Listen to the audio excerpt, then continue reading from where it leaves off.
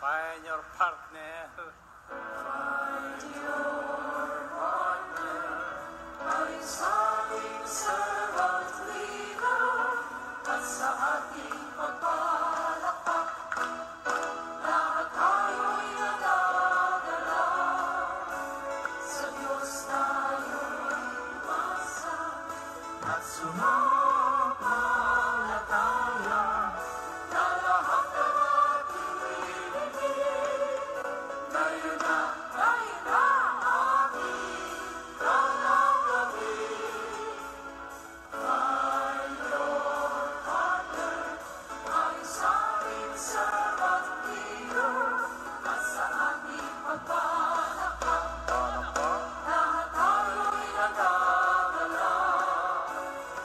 sa Diyos tayo'y umasa at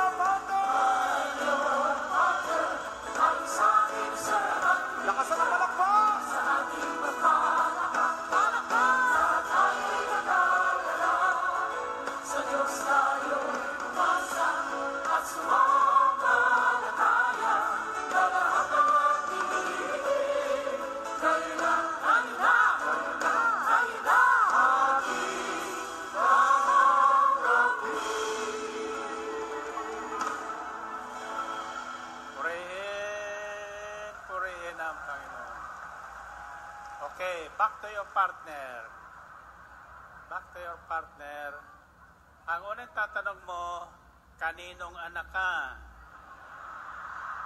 Kay El Shaddai o kay Satanas? One plus one.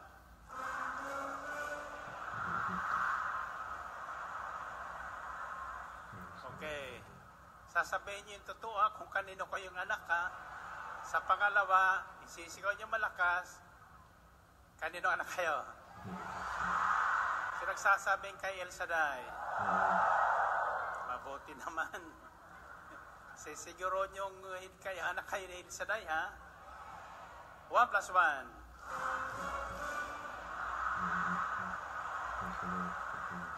Three plus three.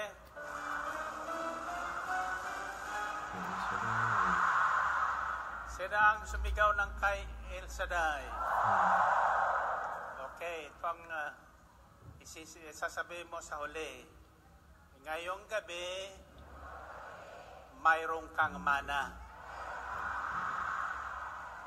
Ulitin nyo nga. Naniniwala kayo dyan? Okay, one plus one. Kanino anak ka? Kay El Shaddai o kay Satanas? Three plus three. Kay El Shaddai. Seven plus seven. 1, 2, 3, 4, 5, 6, 7, 8, 9, 10, 11, 12, 13, 14, 15. Ngayong gabi may mana ka. Yun lahat. Kayo kayo hiniwalang may tatanggap kayo ng mana ngayon? Amen. Okay, taas ang inyong mga prayer request. And let's give Him thanks with a grateful heart.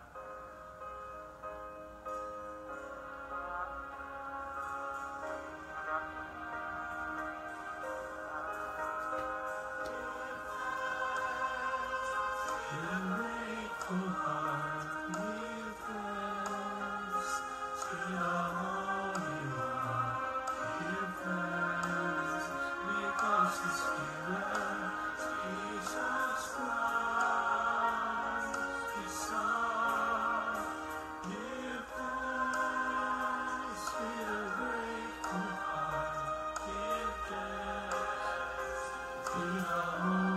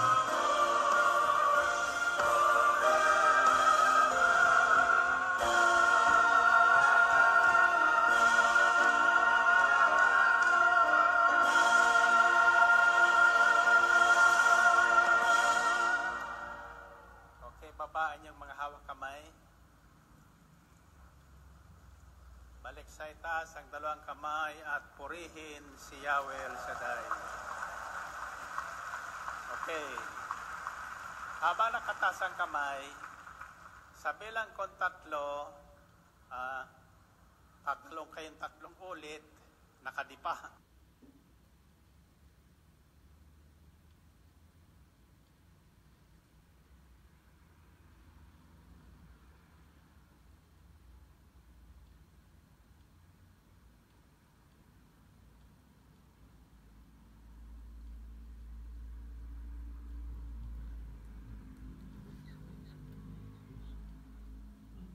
Sa mga araw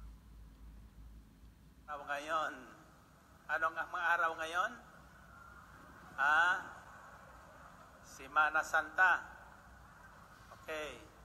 In preparation for the Holy Week, I'd like to share with you the story of uh, not the prodigal, but about the father of the prodigal.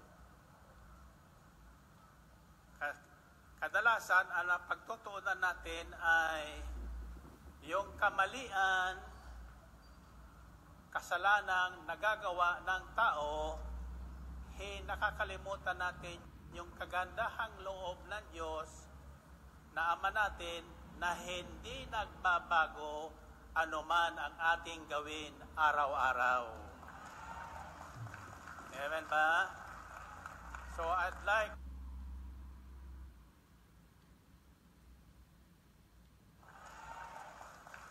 Amen ba? So I'd like to call on you to listen to this story. Hindi ito katang-isip, ito po'y talinghaga na ikininto sa atin ng Panginoong Kristo. Pero kadalasan, nakasentro po doon sa kasalanan o sa kamaliang nagawa ng bata. Dalawang magkapatid yon, ah, dalawa lang silang tagapagmana. Yung isa, marunong. Marunong pero bobo. Ngayon, tatanong ko kayo, sino ang sa inyo ang marunong?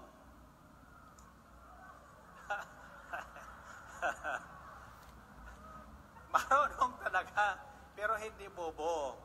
Oh. Yung marunong na hindi bobo, sino? Alalaman natin mamaya yan. Okay. Now, bilang mga anak, sabi sa aklat ng Roma 8.17, at yamang mga anak, tayo'y mga tagapagmana ng Diyos at kasamang tagapagmana ni Kristo Jesus. Co-heirs of Christ Jesus. Sapagkat tayo'y nakikipagtiis sa Kanya, tayo'y dadakilain ding kasama Niya. So bilang tagapagmana at kapatid ng ating Panginoong Kristo, ah, kasama tayong nagtitiis. Pinagtitiisan natin yung ating, ating asawang makulit, ah, pinagtitiisan natin yung ating kapatid, ka-prayer partner na nakakalimot na, pinagtitiisan natin yung lahat ng bagay, huwag lang tayong mapahiwalay kay Kristo na ating Panginoon. Amen ba? Okay. So, there are several things I'd like to share with you about God our Father. Now, may laan sa mga karaang Sabado, binahagi ko sa inyo ang tungkol sa manang hindi natin pinaghihirapan. At hindi lang dito sa lupa ngayon. Mayroon tayong bas, dapat asahang mamanahin na hindi mapapawala sa atin sa bandang huli. Ito dapat ang ating pakamithiin. Okay, tandaan nyo, tayong lahat na umangkin sa Diyos bilang Ama, tinanggap natin ang kanyang nag-iisang anak na si Kristo Jesus bilang Panginoon at tagapagligtas, itinuturing tayong mga anak ng kataas-taasang Diyos. Amen ba? Ano man ang inyong reliyong kinagisnan, kung kayo ay naniniwalang si Kristo ang anak ng Diyos, ang salita ng Diyos na naging tao para mag-iligtas tayo, tayo ay kabilang sa mga tagapagmana ng kaharian ng Diyos. At hindi lang kaharian, kundi ng kayamanan ng Diyos. Dito sa lupa at para ng sa langit. Amen. Subalit, tandaan po natin ito. Bilang tagapagmana, inaasahan tayo ng Diyos na yung ating mana ay sa halip na ating lustayin ay palalaguin natin. Amen ba? If we go back to Matthew chapter 25, tungkol po doon sa talinghaga ng isang mayaman na tinawag yung kanyang mga katiwala. Tatlo sila. Yung isa, pinagmanahan ng liman libo. Yung isa, dalawang libo. Yung isa, isang libo. Tatandaan yun, yung parable of the talents. Talent, sabi nyo talino. Talino. So, ang unang minamana natin sa ating Diyos ay talino. Pag sinabing talino, dala niyan ang lahat. Kung matalino ka, hindi ka malilinlang ng iba. Ha? Kaya lagi kang aware. So, pagkaraan noon, anong ginawa? Umalis ang kanilang Panginoon. Pagkatapos, yung pinagmanahan ng liman libo, humayo. Ganon din yung dalawang libo. Yung isang libo naman, tatanga-tanga. Ha? Ano ginawa niyon? Binaon sa lupa, hindi ginamit. Bakit? Natatakot malugi. Natatakot mabigo. Kaya maraming tumatandang dalaga, tumatandang binata, natatakot mabigo. Ha? Tandaan nyo ito, life is a risk. And faith knows how to take risks. Hindi tayo dapat natatakot na mabigo sapagkat wala ka nang gagawin. Hindi tayo ta- dapat matatakot ng ano paman sapagkat mapoforsin ka, you will be paralyzed. Tatandaan nyo, God expects us to do something about the talents He has given us. Amen ba? Now, to each one, He gave those talents. And time will come when God will ask us what we have done with the talents God has given us. This is the day supposed to be a recollection for lahat na manggagawa ni El Shaddai. Lahat na tinawag ng Panginoon sa gawain ito para angkining mga anak ni El Shaddai.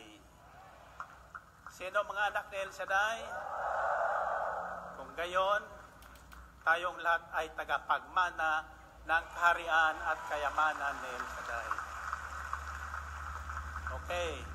So God expects us to increase those talents. Yung minana natin, palabuin. Kaya pagkaraan ng mahabang panahon, bumalik siya at ah, he asked for an accounting. No, God will ask for our accounting of what we have done with the mana na binigay sa atin. So pagdating niya, yung binigyan ng liman libo at dalawan libo nag-report. Ang sabi nung unang libo, yung liman libo, ito po yung binigay niyo sa aking liman libo, ito naman po yung limang libong tinubo ko. Ano ang sagot ng Panginoon nila? Well done, good and faithful servant. You had been faithful with a few things, I will give you more and more great things. Napagkatiwalaan kita sa maliit na bagay, pagkakatiwalaan kita sa lalong malalaking bagay. Amen ba? Kaya yung anak na hindi bubo, kundi matalino, the moment na tinanggap niya kayang mana, hindi po yan naghihirap. Sabi sa Salmo 91, at walang daratal anumang uring paghihirap sa iyong tahanan. Sapagkat si Yahweh ang iyong ginawang tagapagsanggalang. Amen ba? So, ang mapagkatiwalaan sa maliit na bagay, lalong pagkakatiwalaan sa malaking bagay. Amen ba? Now, that is one character trait of God our Father. Ah, we have no reasons to suffer in want. Wala tayong dahilan para maghirap. Pero mayroon anak-anak na naghirap. Dalawa magkapatid din yun. Diba? Yung isa, tagapagmana rin, pero kahit pambloot sa mga kaibigan, wala. Bakit? Hindi siya marunong humingi. Hindi niya alam na mayroon siyang mana rin. Ang nakikita niya yung kanyang kapatid na naglostay ng kayamanan ng kanyang tatay. Huwag nating titingnan yung ating kapatid. Tingnan natin yung ating sariling relasyon sa ating ama. Mabuti ka bang anak o masamang anak? Mapagkakatiwalaan ba tayo o hindi? Now, second is the goodness of God. Ang kabutihan ng Diyos ay hindi po na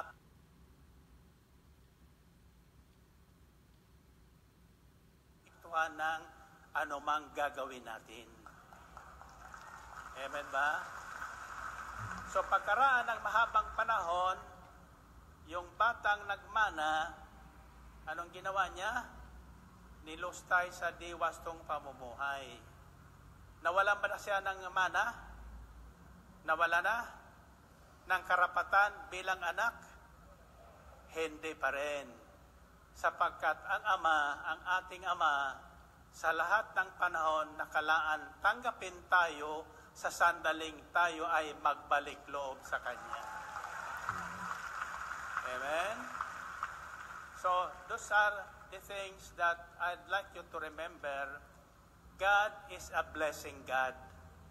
Ang ating Diyos ay isang Diyos na mapagpala. May kayamanang ipinamamana sa kanyang mga anak. Kahit tamad, may mana yon. Amen ba? Kahit lustayin mo yung mana mo, mayroon ka pa rin babalikan sa Kanya. You are still welcome. Amen? So God has an open heart. Our God, our Father, has on an open heart for all of us, no matter what we have done. The goodness of God never changes hindi nagbabago ang kagandahang loob ng Diyos. Kung kilala natin siya, kaya kailangan kilanlin natin ng mabuti kung sino ang ating Ama. Ngayon, napag-alaman natin na mayroong binhi ang Diablo at may binhi din ang Diyos. Tanong ko sa inyo, kanino kayong binhi? Ha? kay El Shaddai. Okay, nakatitsak pa kayo kay El Shaddai? Kung kay El Shaddai kayo, bakit kayo baon sa utang? Sino may utang? O, paano ba yan? Sabi sa Biblia, kung tayo ay susunod sa mga utos ng Diyos, hindi tayo ang mangungutang tayo pa ang magpapautang sa nangangailangan. Amen ba? So, I'd like to share with you uh, the goodness of God tonight. Ang kabutihan ng Diyos. Now, sa mga araw na ito, mayroon tayong dapat gawin kung tayo ay naglustay ng kayamanan ng Panginoon na ipinagkatiwala sa atin. Ano ang dapat natin gawin? Uh, self-examination. Ito ang panahon ng pagsusuri sa sarili.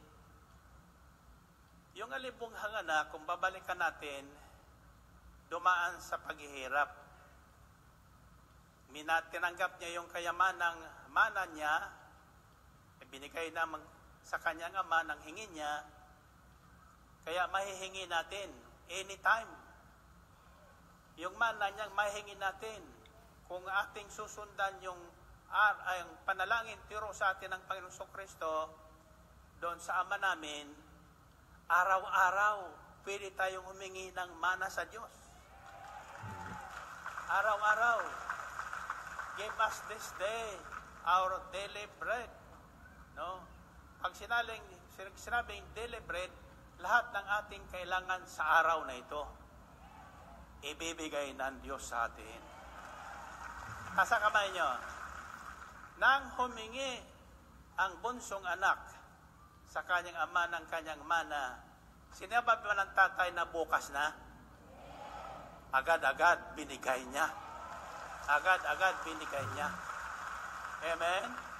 Kaya kayong lahat na nakarating ngayon sa araw ng Martes, ngayon pa tinanggap nyo na. Hindi niya, sa, hindi niya sinasabing bumalik kayo sa Sabado. Sapagkat iba naman sa Sabado. Iba yung araw ng Martes, iba yung araw ng Sabado. Amen? Kaya kung present ka sa araw ng Martes at araw ng Sabado, talaga namang siksik-liklik umaapaw ang pagpapala mo. Amen? Kaya ang pagkakaiba ng marami.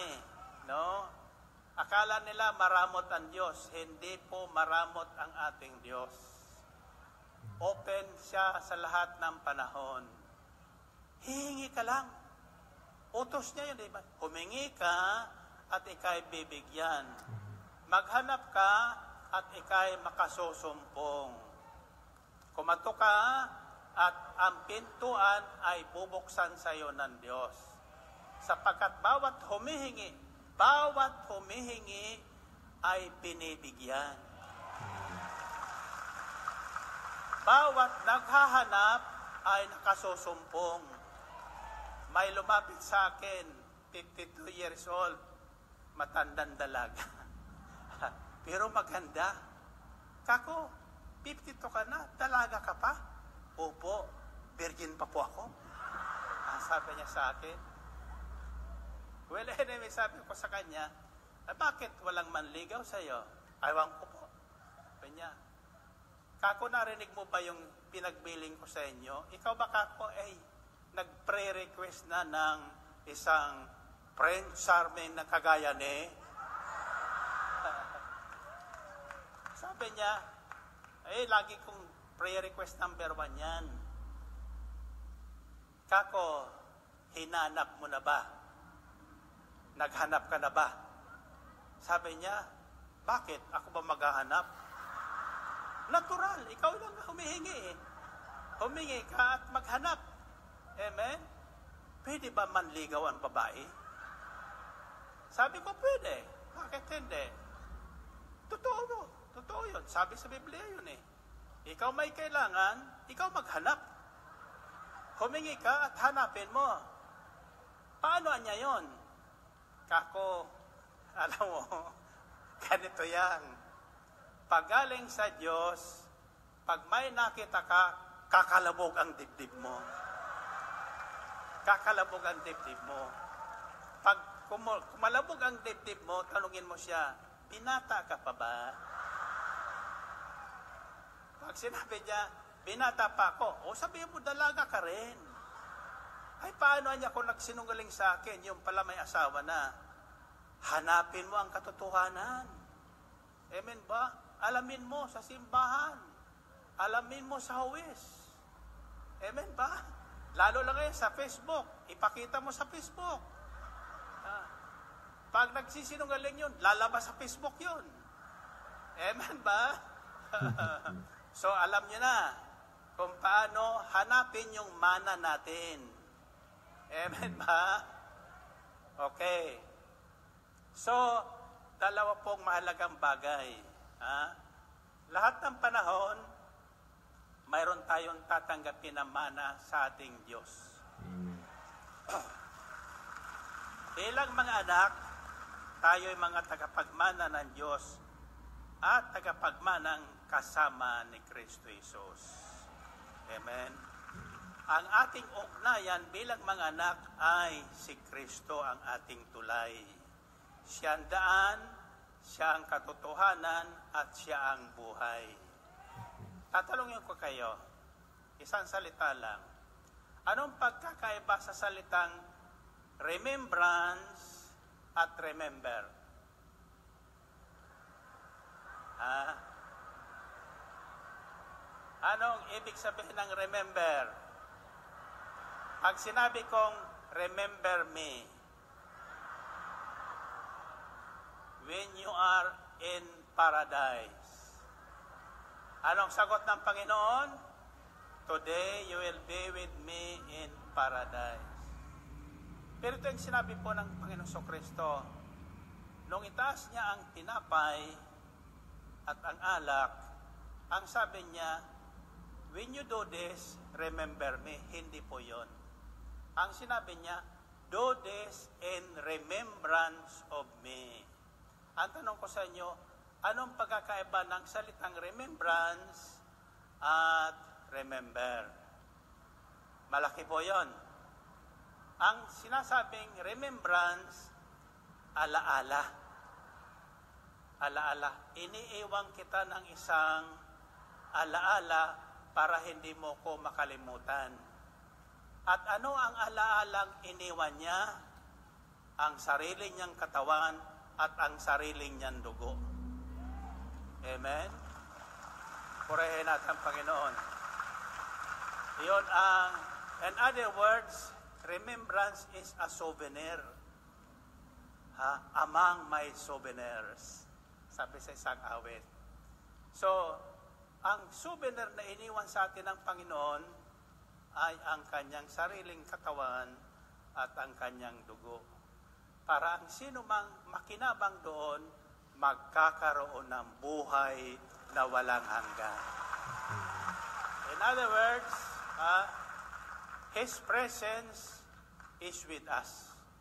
Physically and spiritually, the heir apparent of God, who is Jesus Christ, our brother, spiritual brother, is with us. Ang sabi niya sa kanyang mga lagad, And I will be with you always to the very end of the age. Diba?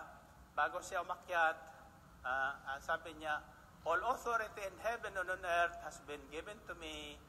Go ye therefore and make disciples of all nations, teaching them to obey everything I have commanded you. And surely I am with you always to the very end of the age. Amen ba? Now, sa sandaling tinanggap natin si Kristo Jesus bilang Panginoon at tagapagligtas at Diyos, hindi tayo nag-iisa. Hindi tayo iniiwan. Lagi natin siyang kasama. Physically and spiritually, lalo na pagdating sa banal na mesa. Amen? Kaya iyan po ang kahalagahan ng ating pananampalataya. Do nakikita natin ay tinapay, pero ang sinabi ng Diyos, ng di Kristo, ah, do this in remembrance of me, ito ang souvenir ko sa inyo, ang sarili ko mismo. Kaya hindi niyo ako maaring kalimutan at hindi ko naman kayo kalilimutan.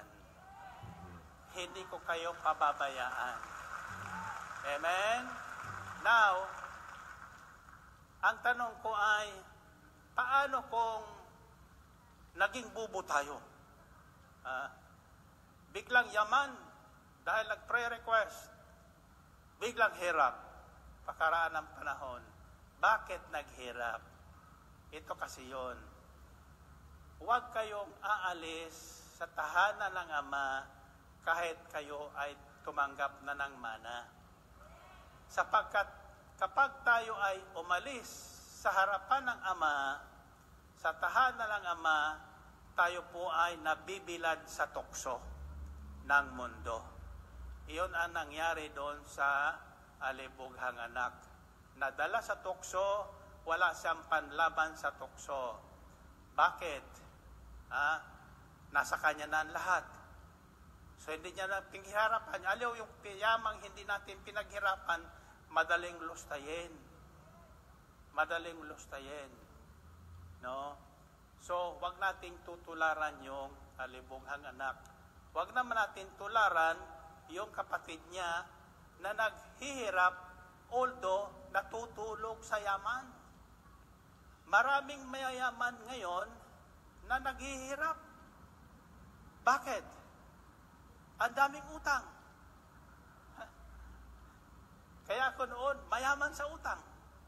Kaya mahirap ang kalooban. Hirap na hirap. Yung walang utang, wala kang utang kahit piso, masarap ang tulog. Amen. So, ang tunay na tagapagmana ng Ama ay hindi po nangungutang. Siya pa ang nagpapautang ng walang tubo. Amen? Oh, pipili ko kayo. Magpapautang o mangungutang? Ngayong may utang na. Ayaw pray pa ngayon. Ha? Siyempre, kanina sabi niya, di ba? Sa banal na mesa, sabi ni Father Sani, ha? Pag may utang kang namatay, hindi ka nagpatawad, isang utang yan eh. Yung hindi ka magpatawad, malaking utang yan. Ha? Madali tingnan po yung may utang na hindi nagbabayad. O yung may, may hindi napapatawad. Pagharap sa salamin, matulis ang nguso. Pero yung tunay na anak na marunong, kahit wala, mayroon o wala, malinis ang kanyang kalooban, masayang nagpupuri kay Yahweh El Shaddai. Amen? So, just in case nagkamali tayo naging lustay, anong gagawin natin? Ah, mag, anong tinuro ko sa inyo? ACR. Natatanda yung ACR? Admission, confession, and repentance. Yan. Ito ang panahon ng siman ng pag-amin ng ating katangahan, pag-amin ng ating ah, mga kasalanan, pagkakamali, at pagsisisi. Pagkatapos, huwag tayo mag-atubiling bumalik. Magbalik loob sa Diyos. Tatandaan nyo, kahit gaano ang ating itsura, nangayayat na tayo, dati matataba tayo, tulad ng mga sa, sapagkat sagana yung mga iyan eh. Eh, biglang ah, pumayat. Bakit? Nalustay yung tanan nila eh. Nalustay. Huwag kang mahiyang bumalik sa Panginoon. You are very much welcome by God.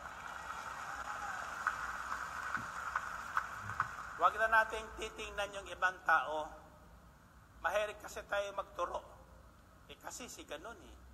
Si ganon, si ganon. Ah, hindi. Tatandaan niyo ito, pag nagturo ka, ah, tatlo ang nakabalik, nakaturo sa iyo. Yung isa, nakataas. Di ba? Ibig sabihin noon, tay ka muna. Alam ng Diyos, tatlo ang kasalanan mo sa Kanya. Kaysa si tinuturo mo. Amen? Kaya huwag ka magtuturo ng ganon. Ganon. ganon. Sa atin sarili. Yan tinatawag kong realization. It is time for us to realize who we are before God. Kailangan malaman natin at aminin natin at pagsisihan natin yung ating kamalian. Nang bumalik ang alibughang anak, sinisi ba ng tatay? Ha? Sinabi bang, o sige, alipin na lang kita. Hindi. May nakahanda ng welcome party. May nakahanda ng welcome party. Taas ang kamay nyo. Tatandaan nyo ito, isang makasalanan lang ang magbaglik loob. Ngayong Simasan, Simana Santa, malaking handaan ang nangyayari sa karyaan ni Yahweh El Shaddai. Amen ba? O, huling tanong. Huling tanong. Ah, gusto nyo bang doblehin ang mana nyo? Kayo ba'y naniniwalang kahit anuman ang pagkukulang nyo, tatanggapin nyo ang mana nyo? Sabihin nyo, kailan? Sa Sabado. Sa Sabado. El Shaddai, sumama, at ito'y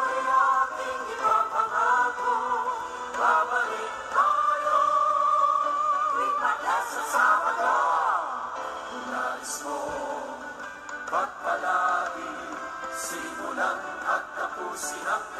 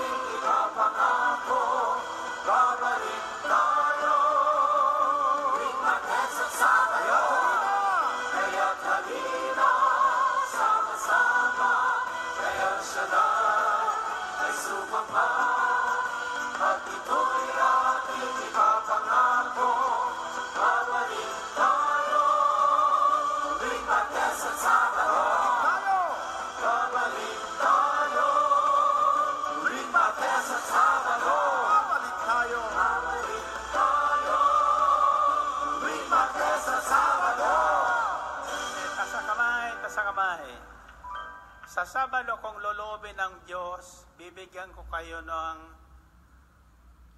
ayon sa Biblia ah, ng tatlo apat na mahalagang manang nakalaan sa atin. Amen? Para hindi na tayo tatanga-tanga. Amen ba? Kayo ba'y naniniwalang tatanggapin nyo sa Sabado yung manang yon? Okay. Kasa kamay, sabihin nyo, Panginoon, salamat po sa inyong kagandahang loob sa amin. Bagamat kami ay laging kapos. Kami naniniwalang ang kapusang ito ay papalitan ninyo ng higit sa sapat na kailangan namin mula sa Sabado. Sa ngalan ni Jesus. Amen? Okay. Asa kamay.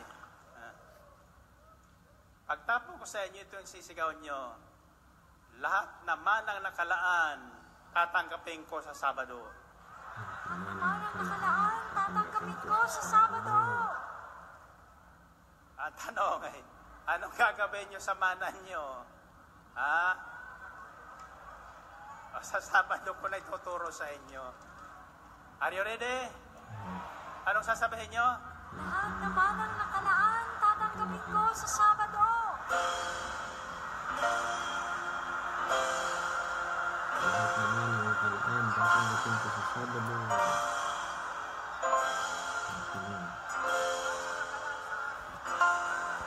See you next Saturday. Salamat sa Diyos.